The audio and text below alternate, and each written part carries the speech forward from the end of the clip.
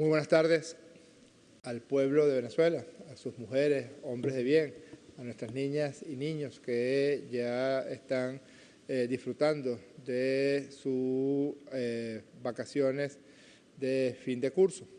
Queremos informar al país que acaba de culminar nuestra sesión del Consejo de Ministros número 359, coordinada por nuestra vicepresidenta ejecutiva del Cielo, Ina Rodríguez.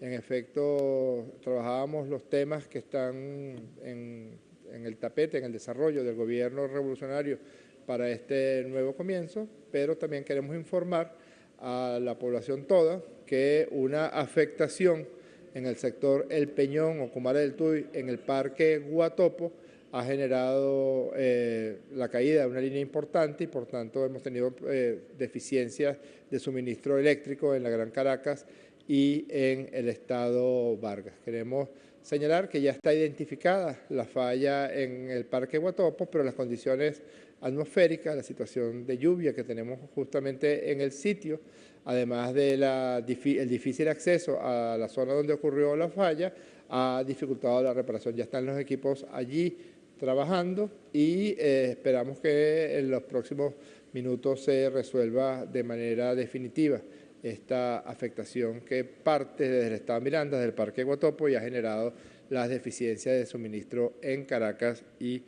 en Vargas. También queremos eh, señalar a la población que estuvimos muy atentos de la situación de lluvia. Son tres eh, corrientes tropicales, que, tres ondas tropicales, el número 26, 27 y 28, de todas las que se esperan para este año 2018, que viene por el Golfo de Paria, que va a afectar todo el litoral en las próximas horas desde el litoral oriental y a medida que se vaya desplazando va a generar situaciones de dificultad hídrica en algunas de las costas y algunos de los estados del país. El Ministerio del Poder Popular para el Interior, Justicia y Paz está muy atento de eh, cualquier posibilidad de accidente hídrico, como los que se han suscitado en el estado Anzuategui, en el estado Apure y en el estado Amazonas.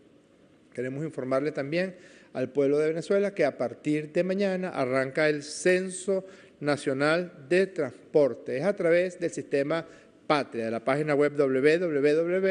www.patria.org.ve. Usted ingresa a la plataforma Patria y hace, eh, cumple con los eh, requisitos que están establecidos allí. Es básicamente unos datos muy sencillos que debe llamar porque todo el proceso del nuevo comienzo que, que se desencadena a partir del próximo 20 de agosto va a incluir la protección de la gran mayoría del pueblo de Venezuela. Es un nuevo sistema económico, una verdadera revolución hacia una economía verdaderamente productiva, hacia salarios dignos para todas y para todos y hacia un poderoso mecanismo de subsidios directos para lo que estamos solicitando a todo el pueblo de Venezuela que tenga propiedad de un vehículo que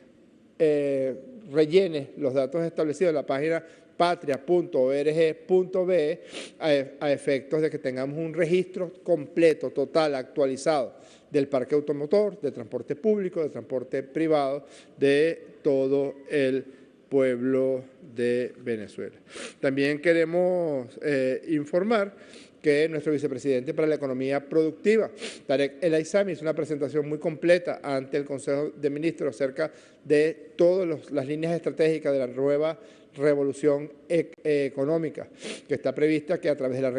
de reconvención monetaria, reconversión monetaria y de todas las otras medidas se implemente a partir del 20 de agosto, pues hizo una muy extensa y muy fructífera exposición de ese nuevo programa económico. Mañana comienza el plan vacacional infantil, más de 4 millones de niños en todo el país por la misión que le encomendará el presidente Nicolás Maduro a nuestro ministro del Poder Popular para la Juventud y el Deporte, Pedro Infante, pues se inicia mañana en todo el país para que todas nuestras niñas y todos nuestros niños de forma absolutamente gratuita puedan disfrutar de todas las atracciones, de las visitas a nuestros parques, de las visitas a nuestras playas, museos, obras de teatro, eh, actividades al aire libre, actividades en espacio cerrado para todas y todos los que conforman el futuro de la patria. Muchas gracias.